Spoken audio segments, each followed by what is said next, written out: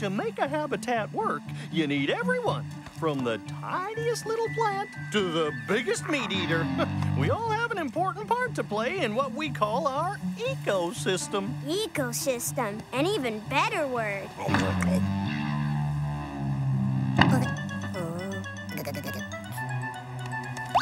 Hey, who's ready to play some games? Um, has the picnic started? Actually, Adam, we're about to have a race. Good. Count me in. Just kidding. Ha ha Okay, who in our habitat is the fastest runner? I'd say the theropods, like you, buddy, and Daphne, and the troodons. We've got toe claws for traction. Some creatures in this habitat are fast flyers. Why don't we make it a running and flying relay race? Yeah! Ready, relay racers? First, the runners race across the beach and touch your teammate's hand. And then the flyers fly back here to the finish line. Got it! On your mark, get set,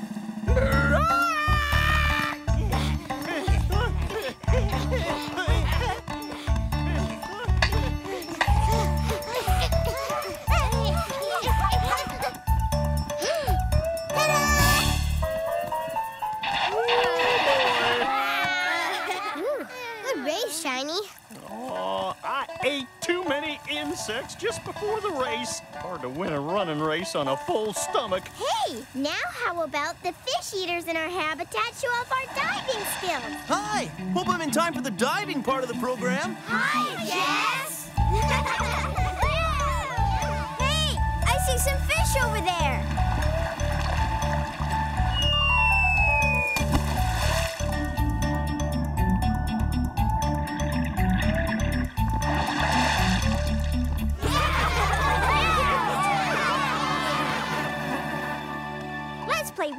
What Creature Am I? I'll start. I have a flat beak, and I reach way up into the trees to eat leaves, and I have a crest that hoots. That would be our local hadrosaur, a Lambeosaurus. That would be me. My turn. I'm covered all over with bony armor, so nothing can hurt me. And I'm really good at Dynaball. That's our local ankylosaur, Eugene Euoplocephalus. I'm covered with bony armor, all right. My turn. I live in this neighborhood. I hunt for food every day, and I am an important part of its habitat. Hmm. Hmm?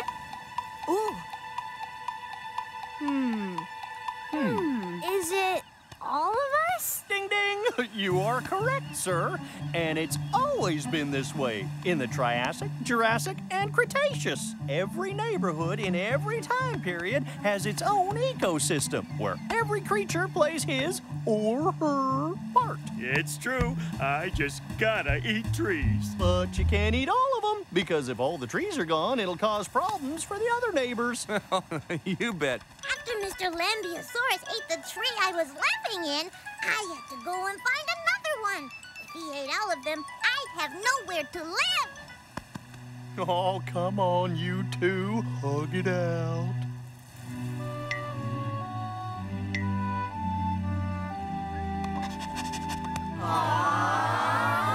Oh, I'm glad we could all have this little talk. Dinosaur. Once upon a time, there was a mom. Her name was Mrs. Pteranodon. Sitting on her nest, she heard a scratching and said, Oh One by one, her kids popped